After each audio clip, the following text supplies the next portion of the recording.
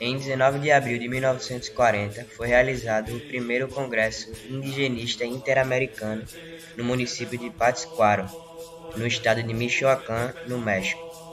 Assim, para celebrar este acontecimento, o dia 19 de abril foi a data escolhida durante o governo de Getúlio Vargas, através do Decreto-Lei número 5540 de 1943. Diversas autoridades governamentais e vários líderes indígenas estavam presentes no Congresso.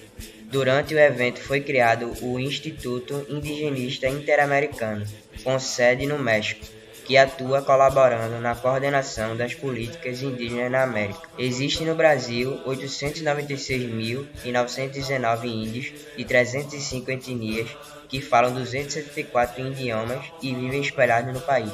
Em 2012, foi realizada uma pesquisa em 32 aldeias em todas as regiões do país, onde foram entrevistados 1.222 índios de 20 etnias.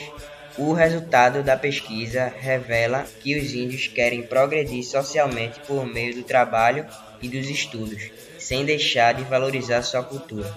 Um número apreciável de palavras de origem indígena integra o vocabulário brasileiro. Maracanã, Ipanema, Itamaracá, Itu, Pororoca, Tucunaré, Uirapuru, Caju, Pitanga Jaci e Yara.